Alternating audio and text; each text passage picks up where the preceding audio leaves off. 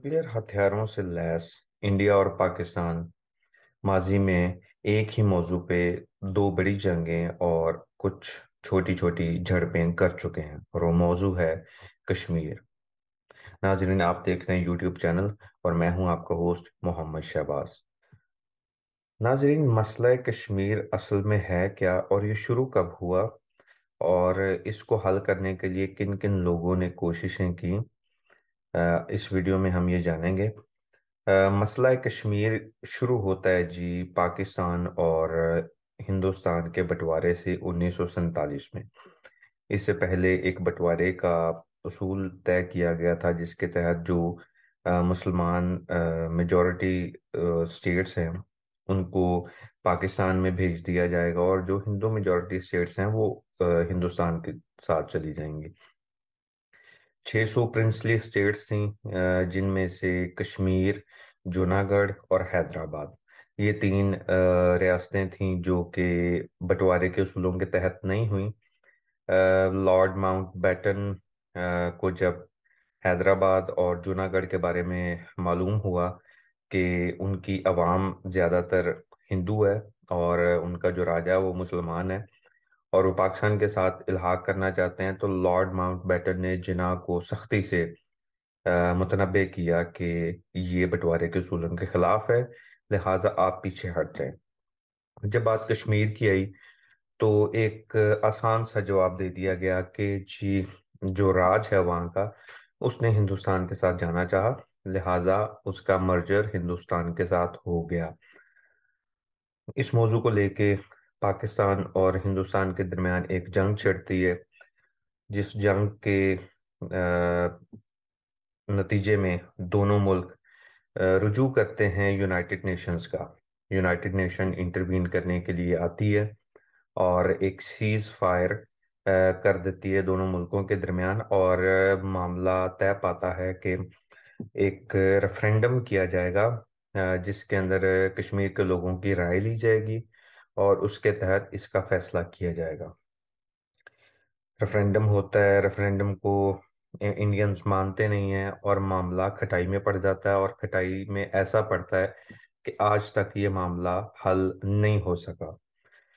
इस पूरे मामले में मुख्तलिफ़ जो पॉलिटिशियंस गुजरे हैं या मुख्तलिफ़ जो आर्मी के हेड्स गुजरे हैं, उन्होंने कोशिश की कि इस मामले को सुलझाया जाए, इस मामले को बेहतर किया जाए। कुछ हिंदुस्तान की तरफ़ से शर पसंद नासिर कुछ पाकिस्तान की तरफ़ से शर पसंद नासिर इस मौके का फ़ायदा उठाते हुए, इस हॉट स्पॉट का फ़ायदा उठाते हुए एक मामले को एस्केलेट करने की कोशिश हमेशा से करते हैं और करते रहेंगे, जब तक ये मामला सुलझ नहीं जाता। इस पूरे सिलसिले में एक जो नाम बहुत अहमियत का हामिल है, वो है जनरल परवेज़ मुशर्रफ। जनरल परवेज मुशर्रफ ने डायलॉग और डिप्लोमेसी को इस तरह से इस मामले के अंदर यूज़ किया कि अटल बिहारी वाजपेयी के साथ वो डायलॉग की टेबल पे इतना करीब आ गए कि कुछ ही दूरी थी इस पूरे मामले को हल करने में और इन्होंने एक मुश्तरका रोड मैप और प्लान भी तैयार कर लिया था कि हम पूरी रीजन को ए मिलिट्री कर देंगे और इसके अंदर से जो मिलिशियाज हैं वो निकाल दिए जाएँगे, जो मिलिटेंट्स हैं वो निकाल दिए जाएँगे। और इसको बॉर्डरलेस एक जोन बना दिया जाएगा, जहाँ पे इंडियन कश्मीरीज और पाकिस्तानी कश्मीरीज एक दूसरे के साथ मिलेंगे, अपने जो बिछड़े बहन भाई हैं या ख़ानदान हैं उनके साथ मिलेंगे, और जो वो फैसला करेंगे, वो दोनों पार्टीज़ उसको कबूल करेंगे। ये सारा मामला आगे बढ़ता है, लेकिन दो चीज़ें आड़े आती हैं कि जनरल परवेज़ मुशर्रफ साहब की डिप्लोमेटिक अप्रोच इतनी तगड़ी नहीं थी कि वो कुछ अरसा वहाँ पे रहे इंडिया जाके भी और जब बात उनकी बर्दाश्त से बाहर हुई तो पूरे के पूरे जो एक डिप्लोमेटिक डेवलपमेंट हुई थी उसको वो तर्क करके पाकिस्तान वापस आ गए। खुर्शीद महमूद कसूरी जो पाकिस्तान के फॉरेन मिनिस्टर थे वो इस बारे में लिखते हैं कि हम इसको इतना एक हमने सुलझा लिया था इस पूरी गुत्थी को कि मनमोहन सिंह जो उस वक्त के वज़ीर आज़म थे, वो कहते कि मैं नाश्ता अमृतसर और दिन का खाना लाहौर और शाम का खाना काबुल में खाना चाहता हूँ। मतलब वो भी इस हद तक इसको लेके संजीदा थे और इसको लेके उनकी जो राय थी वो बड़ी खुशाइन थी कि ये मामला सारे का सारा सुलझा लिया जाएगा। उस वक्त के फॉरेन मिनिस्टर प्रेसिडेंट मुशर्रफ और डीजीआईएसआई कियानी साहब और तमाम बाकी सारे जितने स्टेक होल्डर्स हैं उनको ऑन बोर्ड लिया गया और ऐसे ही इंडियन साइड पे जितने स्टेक होल्डर्स हैं उनको भी ऑन बोर्ड लिया गया। और इस मामले को आगे प्रोग्रेस किया गया। इसमें एक जॉइंट मैकेनिज्म मुशरफ साहब की तरफ़ से दिया गया और फिर मामला नज़र आता है कि जनरल परवेज मुशरफ साहब को निकाल दिया जाता है उनका आउस्चर हो जाता है। उनके आउस्चर के बाद वो मिलते हैं न्यूयॉर्क में शुजा नवाज़ से और शुजा नवाज़ को वो इस पूरी माम, मामले की तफसीलात बताते हैं। उसके अंदर उन्होंने जो पाकिस्तान और इंडिया का एक नया रिलेशनशिप जो बिल्ड किया था और जो उनकी सोच थी जो एक ऑर्थोडॉक्स जो आम नॉर्मल एक रिलेशनशिप होता है पाकिस्तान और इंडिया का, दुश्मनी का और एक दूसरे को मारने का उससे हटके उन्होंने एक नया रोड मैप दिया था जिसके अंदर रीजनल डेवलपमेंट की बात की गई थी, ना सिर्फ़ पाकिस्तान के लिए, इंडिया के लिए, बल्कि इस पूरे खित्ते की फ्यूचर के बारे में उसके ऊपर डिस्कशन हुई थी। इंडिया के पास टू थर्ड हिस्सा है कश्मीर का और जो बाकी हिस्सा है वन थर्ड वो पाकिस्तान के अंडर है। और इस पूरे के पूरे खित्ते की इम्पोर्टेंस इसलिए ज़्यादा है कि इसके अंदर जो साथ में सियाचिन और जो बाकी ग्लेशियर्स हैं, उनसे जो पानी आता है, वो पाकिस्तान में ख़ास तौर पे पंजाब को स- अ, पानी उनकी फ़सलों को कल्टीवेशन के अंदर वो यूज़ होता है और उससे पाकिस्तान का जो एक बड़ा जखीरा है मीठे पानी का वो कश्मीर से फूटता है। इसके साथ साथ कश्मीर पाकिस्तान के लिए इसलिए भी ज़रूरी है कि जो शह, शाहराह रेशम है जिसे सिल्क रोड कहते हैं जो सी पैक का हिस्सा भी है वो भी कश्मीर से होके गुजरती है। यही वजह है कि पिछले कुछ अरसा में आपको इंडिया और चाइना के जो कॉन्फ्लिक्ट्स हैं, वो नज़र आए होंगे और चाइना इस चीज़ को डोमिनेट करना चाहता है कि उनका जो ट्रांजिशन ऑफ़ बिज़नेस है थ्रू सिल्क रोड वो मुतासर ना हो। इसी को मद्देनजर रखते हुए साठ की दिहाई में और सत्तर की दिहाई में पाकिस्तान ने चाइना के साथ कुछ माहदे किए जहाँ पे उन्होंने फुल जो कंट्रोल था वो चाइना को उस इलाके में दे दिया गया जहाँ पे चाइना ने अपनी फोर्सेस भी तैनात की। और ये जो लद्दाख का इलाका है जिसमें पिछले दिनों इंडिया ने मुँह की खाई है चाइना से, लद्दाख में जो तीसरा स्टेक होल्डर है वो पाकिस्तान है। पाकिस्तान ने अपनी जो क्लेम है, वो चाइना के हक में काफ़ी देर का सरेंडर कर दिया हुआ है, जिसकी वजह से पाकिस्तान अपना क्लेम इसके ऊपर कभी वावेला नहीं करता इस चीज़ का। खुर्शीद महमूद कसूरी साहब कहते हैं कि मैं खुफिया मुलाकातें अक्सर जाके कश्मीर में किया करता था ताकि मैं लोगों की राय लूँ और वो क्या चाहते हैं मतलब जो कश्मीरी हैं, मेजर स्टेक होल्डर तो इस पूरे मामले में कश्मीरी कि वो क्या चाहते हैं? और अगर हम दोनों पार्टीज़, इंडिया और पाकिस्तान, किसी एक सोल्यूशन पे आते हैं तो उस सोल्यूशन को कश्मीरीज ना रद्द कर सकें। तो उनका ये कहना था कि कश्मीरीज बजाते खुद भी ये नहीं चाहते कि उनका ये मामला हल हो। वो भी उन्होंने अपनी जो कंडीशंस बताई उसके मुताबिक बिल्कुल भी ये नहीं लगता कि वो संजीदा हैं इस मामले को हल करने में।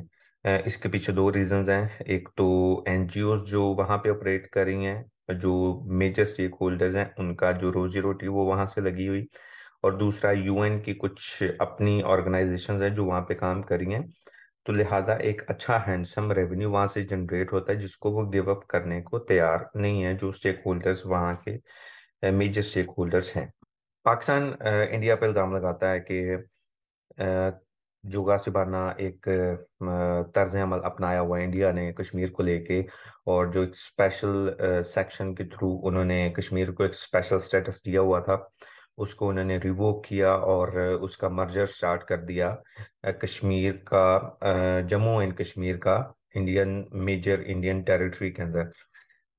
इससे पहले जो पाकिस्तानियों का ये रहा है कि ये पाकिस्तान की टेरिटरी थी according to that division principle तो ये पाकिस्तान की टेरिटरी थी जिसको जना साहब ने भी क्लेम किया तो पाकिस्तान ये क्लेम करता है। इंडियन साइड जो क्लेम करती है कि पाकिस्तान कश्मीर के थ्रू जो मिलिटेंट मिलिटेंट्स को एक्सपोर्ट करता है। पाकिस्तान, कश्मीर में दहशतगर्द भेजता है, वहाँ पे दहशतगर्दी करवाता है और जो वहाँ की मुस्लिम जो लिबरेशन मूवमेंट्स हैं या मुस्लिम जो एंटा इंडियन वहाँ पे मूवमेंट्स होती हैं उनके पीछे पाकिस्तान है और पाकिस्तान जिहादीज बना के वहाँ पे भेजता है ख़ास तौर पे हफ सईद और बाकी सारे जितने भी ये लोग इसके अंदर शामिल हैं। और फिर वो इन इसके जो डॉट्स हैं वो कनेक्ट करते हैं पाकिस्तान की आर्मी के साथ। इसके ऊपर कुछ स्कॉलर्स ने लिखा हुआ है और मतलब ये एक इंडियन पर्सपेक्टिव है पाकिस्तानी पर्सपेक्टिव है कि ये हमारी शहरग है। पाकिस्तान और कश्मीर एक हैं, दोनों भाई हैं एंड ऑल दैट पाकिस्तान और कश्मीर का जो एक इशू है, इसको निगोशिएशन के जो प्रिंसिपल्स हैं, उसके तहत भी सॉल्व किया जा सकता है, जहाँ पे बैठना और दो तीन और प्रिंसिपल्स हैं जिसको अप्लाई करके और पाए चार्ट को अप्लाई करके इसको सॉल्व किया जा सकता है। एक बेसिक डिप्लोमेटिक अप्रोच है इंटरनेशनल रिलेशंस में, जहाँ पे आपने अपने लेवरेजेस हैं और अपने जो अचीवेबल्स हैं उनको सामने रखना होता है। बदकिस्मती से पाकिस्तान का फॉरेन ऑफ़िस इतना कभी स्ट्रांग रहा ही नहीं। मुशरफ के दौर में कुछ हद तक स्ट्रांग था बट वो भी इसलिए स्ट्रांग था कि अमेरिका पाकिस्तान की पुष्टपनाही करता था, क्योंकि अमेरिका को अपनी एक इस पूरे खत्े के अंदर ज़रूरत थी पाकिस्तान की, जब उसकी ज़रूरत पूरी होगी तो पाकिस्तान के मामला को देखना अमेरिका ने छोड़ दिया। इसी तरह ही बाकी जितने भी इंटरनेशनल ऑर्गेनाइजेशन हैं वो रिट्रीट बैक कर गए। इसके ऊपर खान साहब ने भी अपना एक मौकफ दिया है। खान साहब इसके ऊपर बिल्कुल अड़े हुए हैं कि हम इंडिया के साथ ताल्लुकात नहीं बहाल करेंगे जब तक वो कश्मीर का इशू सॉल्व नहीं करेंगे। तो मेरा ही मानना है क्योंकि जो रिसेंटली कुछ डेवलपमेंट्स आई हैं कनाडा और जो यूरोप है उनका एक मेजर शिफ्ट है पॉलिसी फॉर्मेशन का, वो इंडियन सी की तरफ़ है, जिसके अंदर पाकिस्तान और इंडिया और बाकी सारे ममालिक आते हैं कि इनका एक म्यूचुअली रिलेशनशिप बिल्ड हो जिसको लेके एक नई मार्केट बने और इन फ्यूचर जो सेंट्रल एशिया तक रसाई है जो चाइना के रसाई है और बाकी एक तगड़ी मार्केट बनने जा रही है ख़ास तौर पे ताशकंद और ये सारे जो इलाके हैं in coming ten to fifteen years तो सारे जो ममालिक हैं, उनकी नज़रें इधर जमी हुई हैं कि इन दोनों का मसला सॉल्व हो। और इन दोनों का मसला सॉल्व होना ज़रूरी है क्योंकि ये जो दोनों साइड की फोर्सेस हैं, उन्होंने एक इस मामले को इतना एक हाइप दे दे दी हुई है कि मामला अब सॉल्व नहीं होता। पाकिस्तान से जो पॉलिटिशियंस हैं, जो सीज़न पॉलिटिशियंस हैं और जो डिप्लोमेट्स हैं, उनको चाहिए वो अपना एक डेलीगेशन बनाए और इंडियन साइड से जो सीज़न पॉलिटिशियंस हैं, वो अपना एक डेलीगेशन बनाए और इस मैटर को सॉल्व किया जा सकता है। अगर यूरोप में एक दूसरे का कत्लेआम करने वाले लोग एक इकोनॉमिक इंटेग्रेशन में रह सकते हैं तो ये तो दो मुल्क है। तीसरा मुल्क आप बांग्लादेश को लगा लें। ये तीनों मुल्क अपने एक दूसरे के साथ इकोनॉमिक इंटेग्रेशन के साथ रह सकते हैं और मसला ये है कि इनको कोई एक फॉर्मूला प्रोवाइड करने वाला नहीं है। तीसरा बंदा अगर फार्मूला प्रोवाइड करेगा तो वो इनके लिए एप्लीकेबल नहीं होगा क्योंकि इन दोनों स्टेट्स ने जो कॉन्स्टिट्यूशन ब्रिटिश कॉन्स्टिट्यूशन को कॉपी पेस्ट करके जो हाल किया अपने लोगों का, वो सबके सामने लिहाजा बेहतर ये होगा कि ये लोग अपना एक डिप्लोमेसी के थ्रू एक निगोशिएशंस और डिप्लोमेसी के थ्रू एक फार्मूला तैयार करें, जिसके अंदर दोनों एक दूसरे के साथ बैठ के बात करें और तमाम फरीक जो इसके स्टेक होल्डर्स हैं, उनको मद्देनजर रखा जाए। Thank you